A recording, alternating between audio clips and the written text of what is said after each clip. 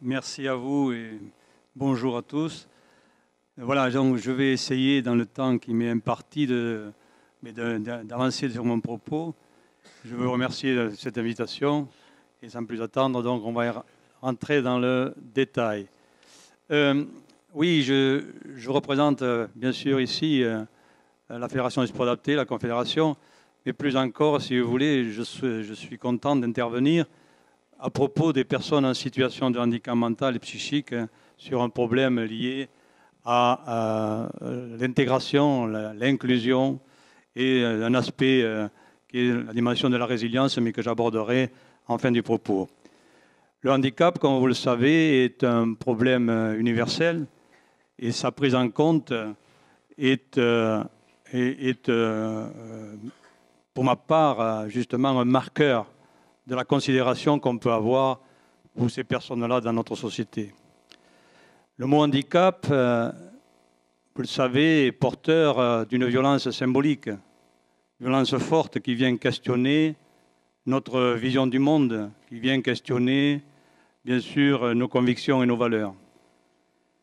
Et je dois dire que la rencontre avec euh, la personne en situation de handicap, le handicap, révélatrice justement de la place que l'on accorde à ceux qui sont porteurs d'une différence à ceux dont l'écart à la norme nous interroge. Je crois que c'est la première chose qu'il nous faut voir ici.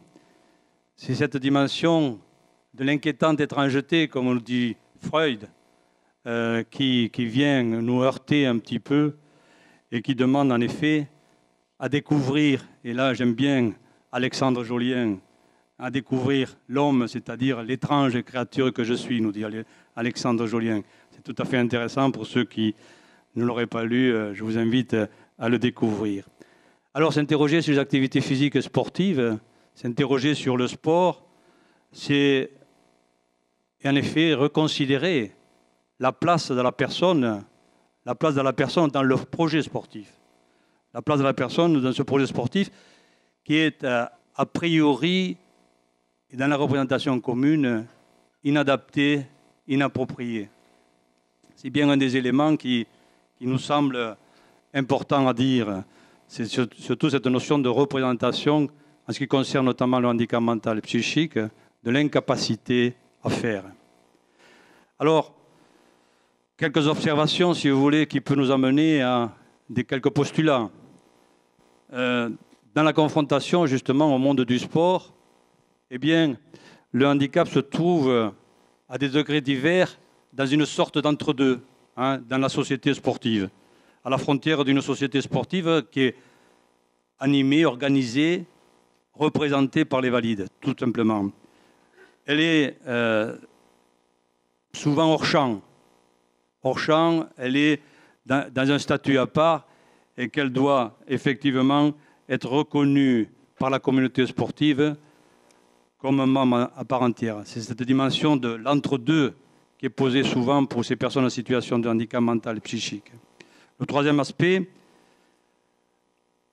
elle n'a pas tout à fait sa place parce que, d'une certaine manière et à tout moment, elle doit prouver sa compétence à faire.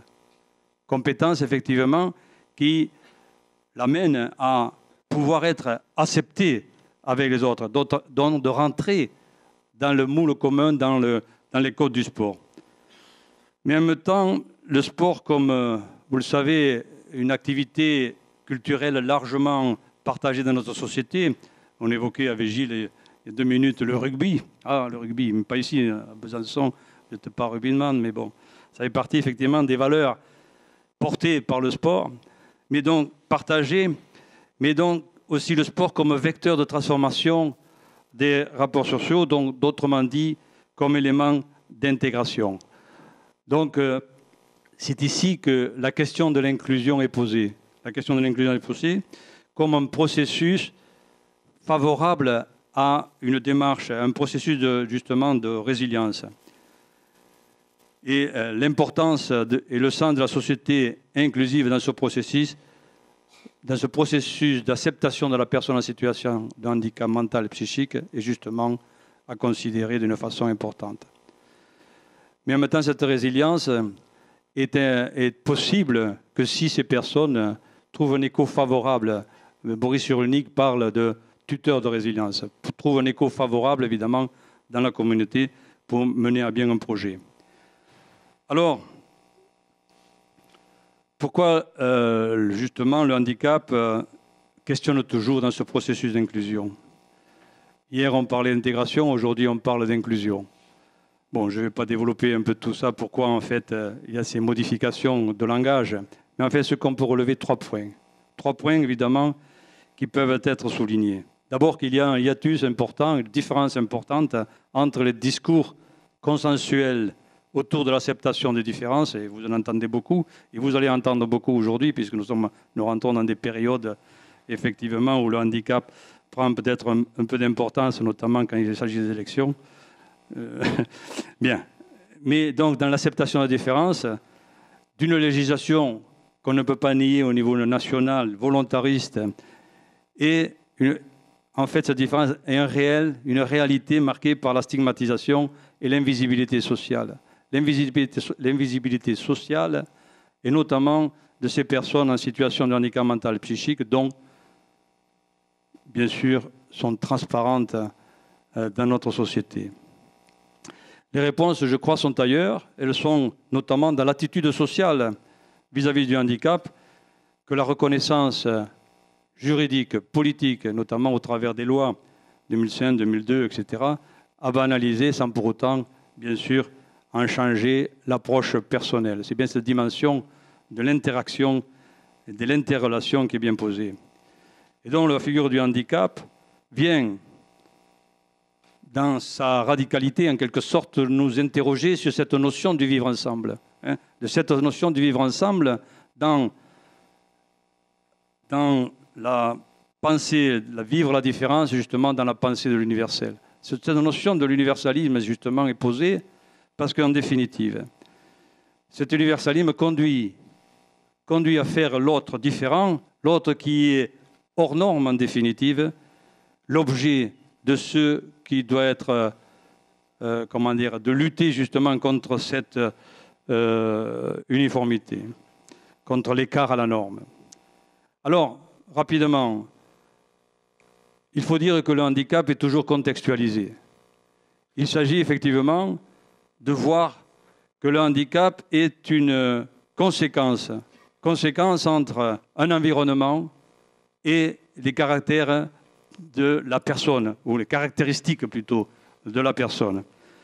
L'évolution de la pensée du handicap met en évidence d'une part la responsabilité de la société dans son système d'organisation sociale et, politique, et d'autre part, bien sûr, les aspects personnels et les aspects, comme je le disais, d'interrelation et de ce qui fait euh, ce qu'on appelle les autres qui ont significatif, les autres significatifs, qui sont, euh, comme je le disais tout à l'heure, des tuteurs de résilience et qui permettent à la personne de pouvoir dépasser sa condition.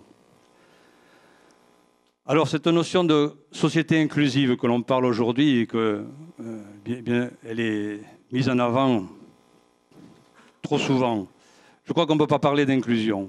Personnellement, je pense qu'on ne peut pas parler d'inclusion, mais qu'on parle de société inclusive, d'école inclusive, de culture inclusive, etc., etc.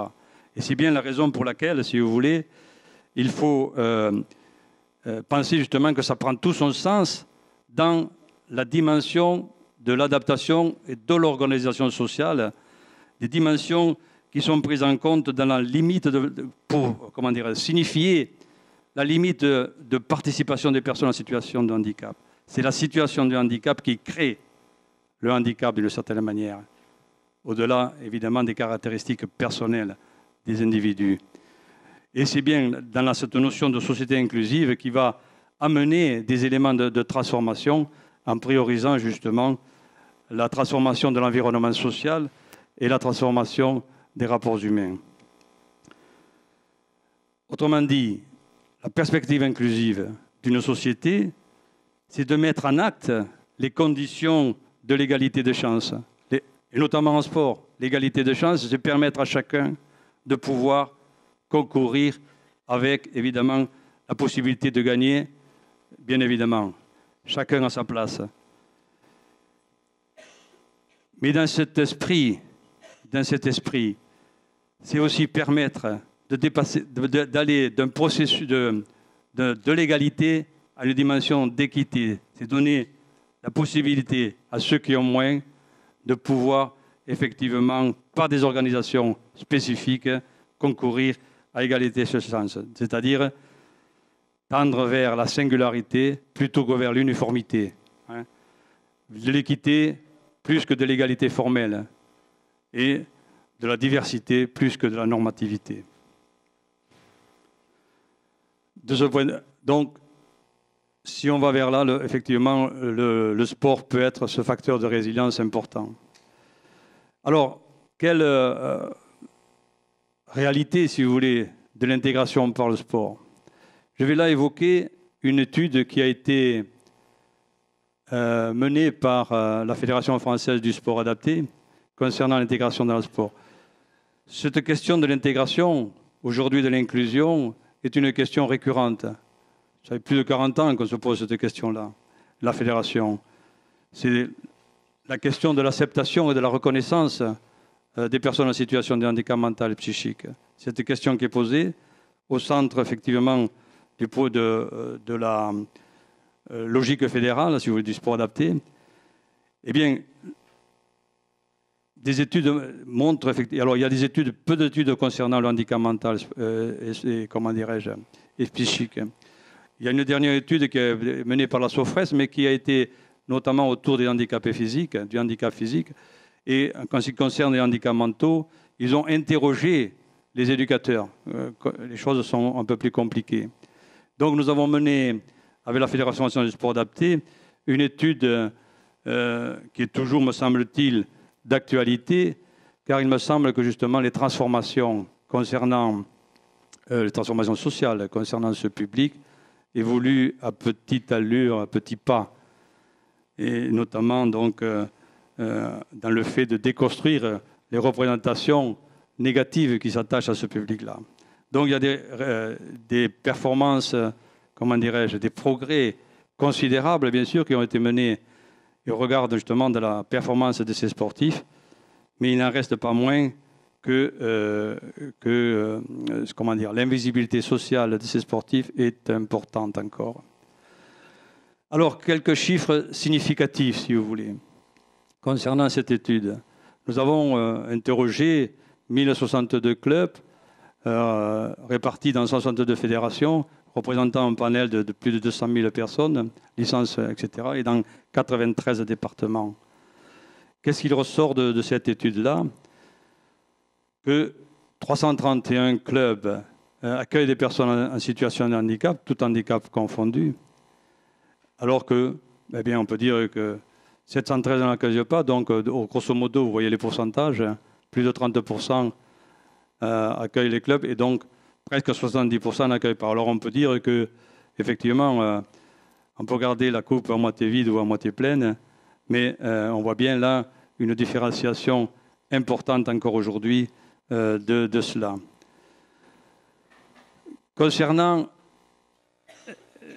je, fais un peu vite, vous lisez en même temps les, caractéristiques concernant chaque, chaque type de handicap, mais concernant des approches ou des représentations, on pourrait penser que dans le cadre de l'accueil des personnes en situation de handicap, les petits clubs sont plus accueillants que, les grands.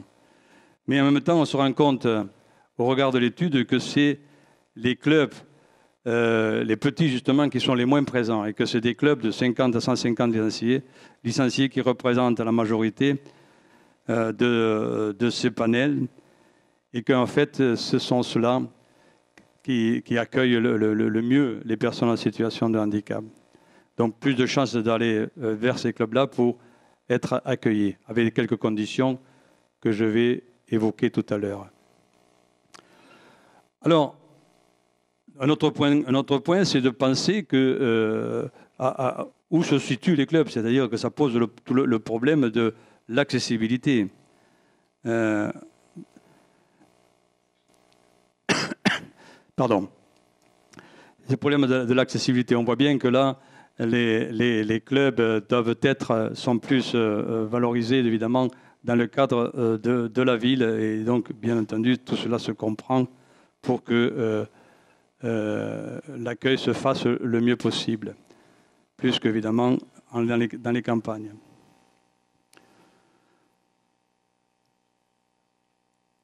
Alors, euh, je n'étais. Euh,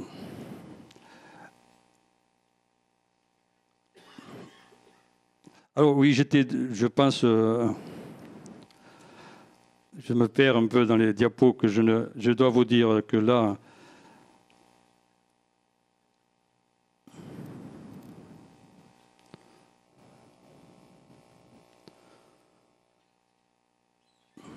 je ne sais plus où je suis là.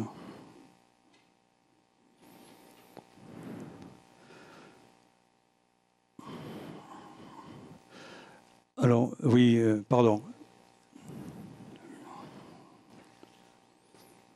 Je me suis perdu. Alors, je voulais parler, je voulais parler, pardon, oui, j'étais un peu perdu dans mes, dans mes diapos là. Euh, je voulais donc parler du déficit de, formation euh, du handicap dans la problématique de l'accueil des personnes en situation de handicap. Donc, il y a deux aspects donc, qui sont importants dans la réussite de l'intégration, c'est la préparation à l'accueil et dans l'accompagnement euh, clubs. Et dans ce cadre-là, euh, nous, avons, nous remarquons effectivement que l'accueil, qu'il y a seulement 8% des clubs qui accueillent, qui ont un, encadrant formé à l'animation des activités physiques et sportives. Donc l'importance de l'accueil semble, euh, de la formation pour l'accueil semble effectivement euh, essentiel. Donc, l'accompagnement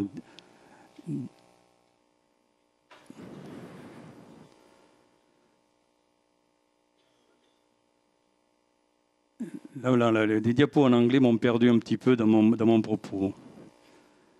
L'accompagnement favorise l'intégration des personnes en situation de handicap euh, dans les clubs ordinaires.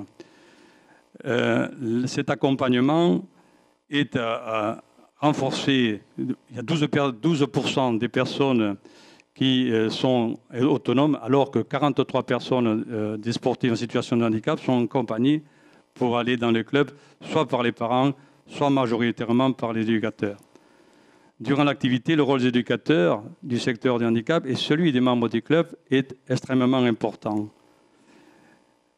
On a relevé que dans ce cadre-là, 8% euh, des, clubs euh, disent, effectivement qu'ils n'ont pas de difficultés ou que les difficultés sont attachées à la caractéristique du sujet, à l'accessibilité au milieu du handicap et à l'adaptation du matériel, notamment. Alors,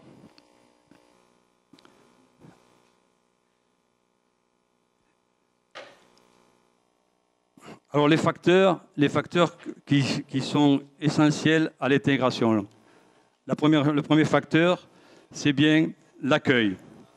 L'accueil est d'une importance cruciale, effectivement, parce que c'est dans cette première rencontre, dans cet élément de, l'expérience première de la confrontation à l'autre que, effectivement, euh, euh, euh, la, personne en situation de handicap va pouvoir se retrouver acceptée dans ces clubs-là. J'ai l'expérience notamment d'une association qui cherchait, une, des parents qui cherchaient effectivement à amener leur enfant dans un, dans un club et qui, après avoir fait le tour de la ville, eh se sont retrouvés dans le club du sport adapté en disant tout simplement, enfin, nous sommes chez nous. Donc se retrouver effectivement dans ce cadre-là, euh, en disant euh, euh, de se retrouver effectivement au, même regard, sous le même regard des autres. Ce qui est posé là, c'est également le, cas de Didier Roy. Didier Roy, qui était un éducateur sportif qui a été accidenté. Et donc, cette dimension, justement, de ce premier contact, de ce premier regard, et, qui évoquait effectivement que combien le regard des debout, comme il dit, était, était traumatisant, était, comme il dit, il dit, une blessure à l'âme. C'est bien dans cet échange de regards dont on parle très souvent que euh, la personne euh, se euh, trouve dirigée, si vous voulez, se trouve sous le regard, dans une trajectoire et posée dans une trajectoire. Le deuxième aspect, c'est l'adaptation. L'adaptation des moyens, dans le facteur, l'adaptation des moyens matériels et humains, c'est effectivement questionner l'accessibilité universelle c'est bien répondre à l'accessibilité universelle, donc pour essayer de réduire et compenser le handicap. C'est donc l'aménagement des structures, bien sûr. C'est bien l'aménagement pédagogique et réglementaire de la discipline. Et c'est, comme je dit tout à l'heure, la formation spécifique des éducateurs sportifs. Donc l'accessibilité universelle comme pilier justement d'une société inclusive.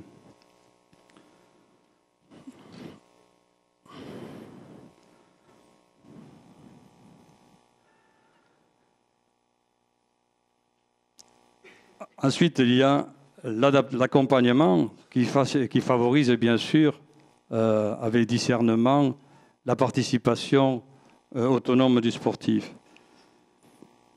Euh, il y a un, rôle de médiation important des personnes qui font sens pour la, personne en situation de handicap mental et qui permet effectivement à la personne, au sportif, de pouvoir euh, mener à bien son activité. Il n'y a pas, quand je disais l'accompagnement, donc c'est bien ces éléments liés à ce que donc j'évoque en termes de médiation, le rôle euh, euh, des tuteurs de résilience. Il n'y a pas de société inclusive sans résilience pour les personnes en situation de handicap et euh, on va voir là le, cas, de, euh, euh, le cas de Pascal Pereira. Pascal Pereira qui a été pendant sept ans dans un, hôpital psychiatrique et qui a pu, au regard de, de la, par sa participation aux Jeux paralympiques, dont il a été médaille de bronze, mettre en avant, mettre en avant effectivement combien le sport a été pour lui un élément euh, de, reconnaissance, bien sûr, mais surtout de reconstruction identitaire. Et euh, là, on le voit, bien sûr, euh, après sa, victoire pour la troisième place aux Jeux paralympiques, évoquer le fait, justement, combien cette victoire était un aboutissement de tout l'investissement qu'il avait pu mettre dans le sport.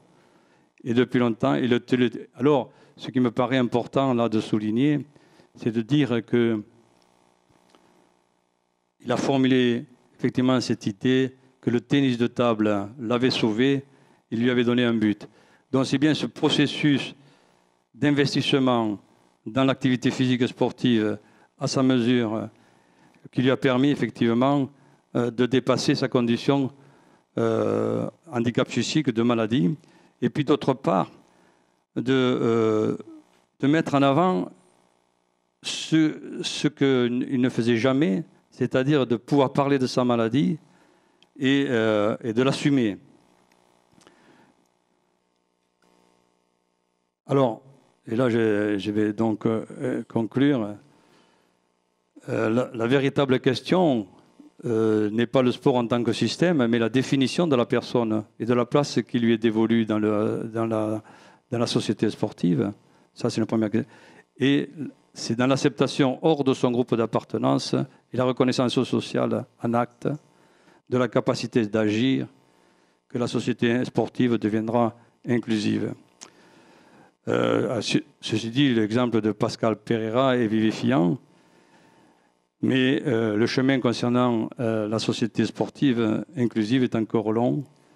Et je voudrais dire un peu euh, que la, personne en situation de handicap mental et psychique se trouve dans la peau de, de Sisyphe, vous savez, ce, ce, héros de la mythologie, condamné par les dieux à rouler un rocher en haut de la colline et qu'il redescend toujours. Et enfin, de dire combien, pour soulever ce poids si lourd, Sisyphe, il te faudrait ton courage. C'est un mot de Baudelaire, donc combien effectivement il faut beaucoup de courage aux personnes en situation de handicap mental, psychique pour dépasser leurs conditions. Alors, voilà ma conclusion, mais je voudrais, je voudrais m'excuser euh, de mon, euh, euh, comment dirais-je, de mon propos du milieu, de, parce qu'effectivement j'étais sous le regard de, de diapos en anglais qui m'ont un peu perturbé dans mon cheminement qui fait que euh, j'ai pu paraître un peu brouillon, euh, certainement d'ailleurs. Donc je voudrais m'excuser auprès de vous. J'ai voulu répondre à une consigne et vous avez pu remarquer mon incompétence totale sur l'anglais.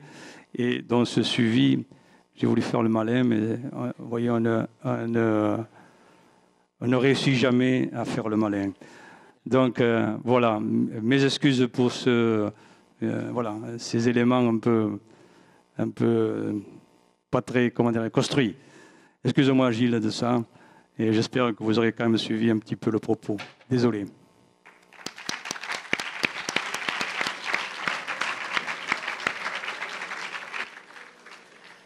Thank you, Roy, for your exhaustive panorama.